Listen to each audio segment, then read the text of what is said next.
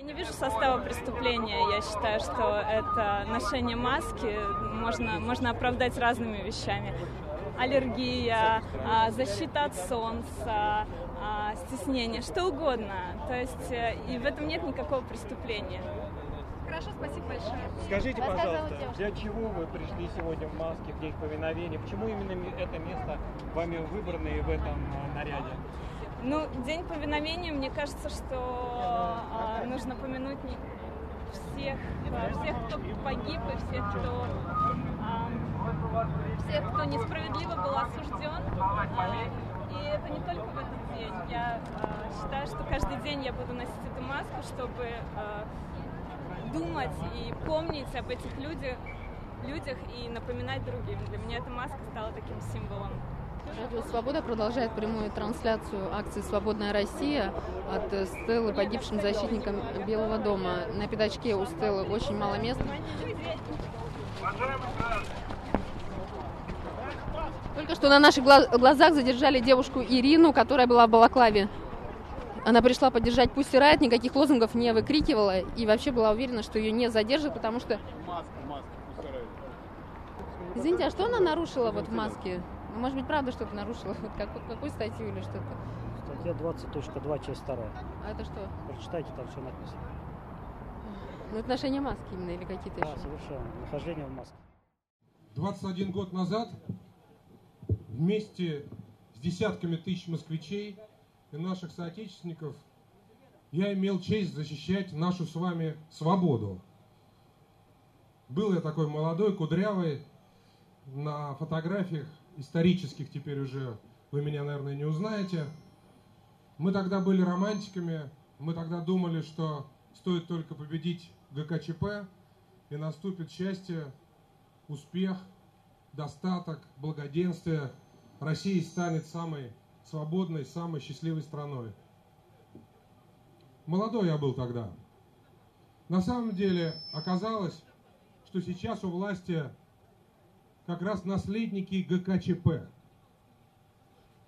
И, и Путин, и, вся, и весь его кооператив «Озеро», и вся эта бригада жуликов и воров, это как раз наследники ГКЧП.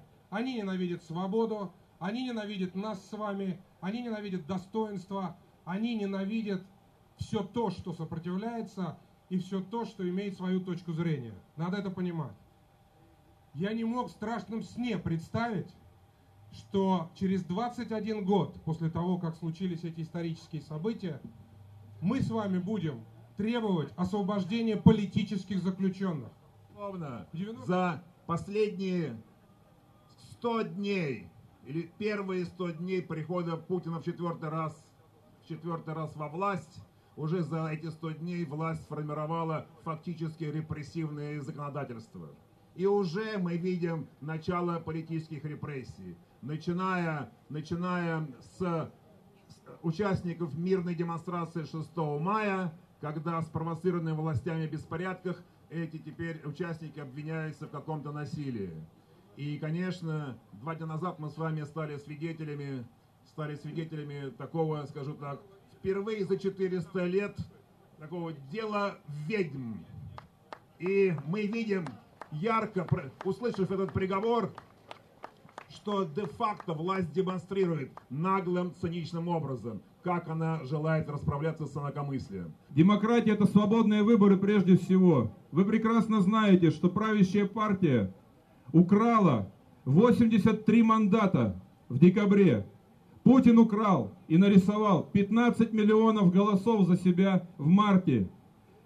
У нас сегодня сфальсифицированная, нелегитимная Дума, и у нас сфальсифицированный, нелегитимный президент Путин. Согласны? В России нарастает вал репрессий. Арестованы люди по 6 мая. Это была мирная акция протеста. Никаких там не было массовых беспорядков. Ничего похожего на лондонские события, на которые ссылаются. Это политзаключенные. Михаил Ходорковский, Платон Лебедев, политзаключенные. Пуссирайт, которые получили два года, два дня назад, политзаключенные.